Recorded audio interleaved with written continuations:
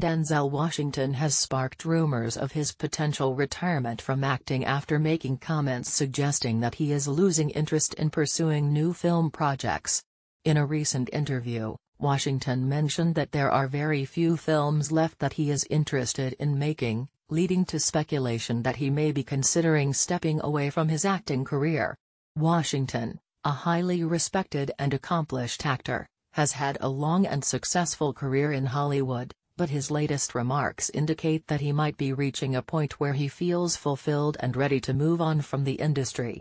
In my opinion, if Denzel Washington is indeed contemplating retirement, it is a natural decision for someone who has achieved so much in their career. After decades of success and countless accolades, it's understandable that he might want to explore other interests or simply take a step back from the demanding nature of the film industry. This situation reminds us that even the most passionate and dedicated professionals may reach a point where they feel they have done all they set out to do.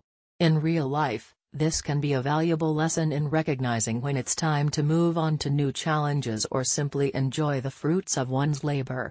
It's also a reminder to appreciate the contributions of those who have given so much to their field, as their legacy will continue to inspire even after they decide to step away.